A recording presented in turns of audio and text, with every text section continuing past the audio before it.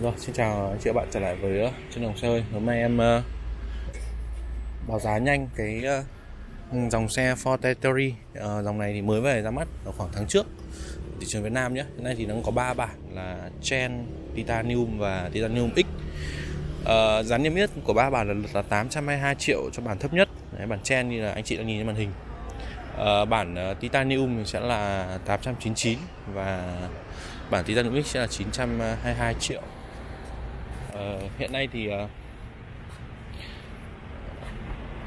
có xe sẵn và nhiều ấy, thì uh, đa phần là bản uh, Chen và bản uh, Titanium X nhé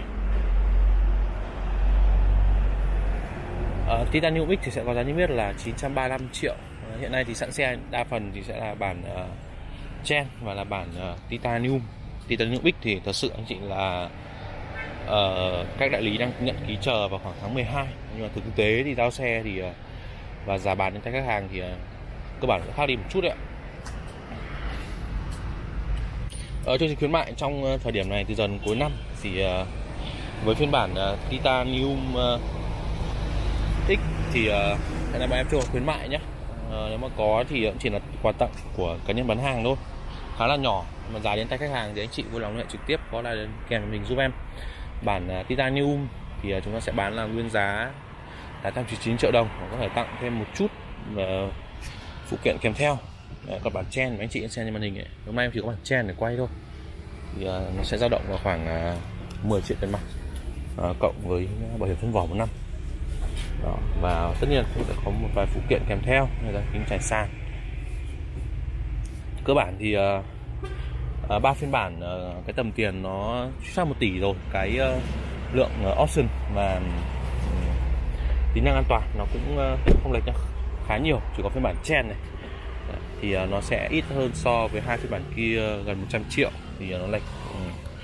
Ừ. Một tính, một vài tính năng có tiêu biểu có thể kể đến như là cam 60 hay là lùi độ tự động.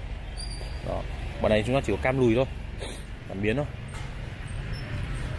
à, tuy nhiên thì ờ, thời điểm này ờ, bản chen là sẵn xe tiết kiệm được khá khá nhiều. Lăn bánh bản chen thì chúng ta đâu đó vào khoảng à, hơn 900 chưa đến 900 triệu ở tỉnh và hơn 900 triệu một chút ở Hà Nội. Đấy, còn bản Titanium và Titanium X thì đang đâu đó sấp xỉ vào khoảng à, 1 tỷ và bản Titanium X là khoảng à, gần 1 tỷ mốt nhá. Đó các bác lưu ý giúp em. Rồi à, về bản chen à, làm sao để chúng ta mua được cái xe nó hợp lý và uh, sẵn xe? Đó. đại lý uy tín. Uh, chúng ta tránh trường hợp mà bị uh, đợi xe quá lâu hay là cái giá cả nó chênh lệch theo thời điểm. Thì thật sự là thời điểm này là thời điểm sát tết rồi. Nên là mình uh, uh, phải phòng chừa trường hợp là đến tháng 12 thì hàng loạt các mẫu xe nó sẽ đẩy lên giá hoặc là có khuyến mại. Đó. À, các bác có nhu cầu trực tiếp thì vui lòng liên hệ.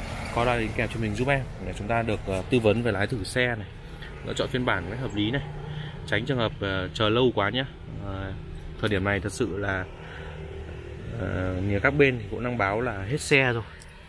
Đấy, chỉ còn một số vòng phổ thông thôi. Còn uh, giá bán thực tế thì uh, một số đầu vẫn uh, khá là mạnh rồi uh, báo giá nhanh qua ba phiên bản uh, Territory đang bày bán tại Việt Nam. Bác có nhu cầu alo giúp em nhé.